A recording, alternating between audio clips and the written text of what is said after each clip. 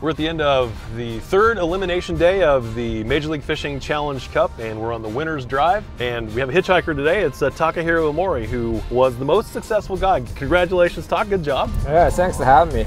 Caught uh, 20 fish for just over 34 pounds. So let's talk a little bit about the fishery that you were on. Bull Shoals Lake. Um, it's it's not a new lake to you. You've fished there before. We've had competitions there before. However, it's super high. Like it is very high. So when you arrived there and you saw how high the water was, what was the first thing you thought of? You thought to yourself, here's what I need to do. What was that thing you needed to do? Usually, my basic idea, if it's a high water, you have to get to the bank to Okay. fish it.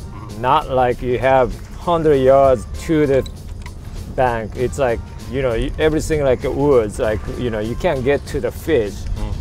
So you had a fish bank. So how did you identify though which stretches of bank that you would fish? I mean, what, what stood out to you as the places you needed to focus on? Well, the way I find fish, that kind of condition, I had to go to like the back end of the creek. Okay. Right. or back into the pocket or something again i want to get to the bank so it have to be either steeper or way way in the back What about like water clarity? Did that have anything to do with, with what you looked at? i was hoping some muddy water somewhere pretty much everything super clear which i don't like kind of kind of fishing Mm-hmm. Right.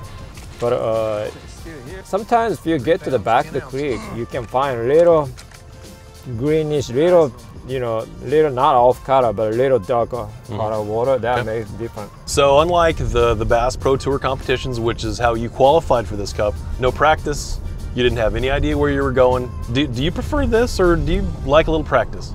I like this format. For no information, no practice. Mm. Couple reasons for that.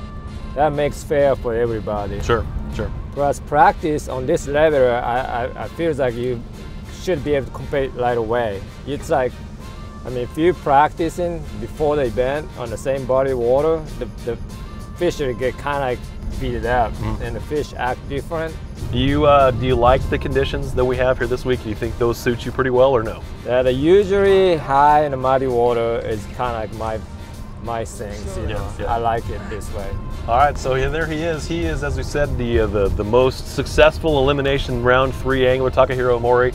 Next time you see him, we'll be in sudden death. Congratulations, buddy. Good Yeah, job. thanks for having me, though. Yeah, man.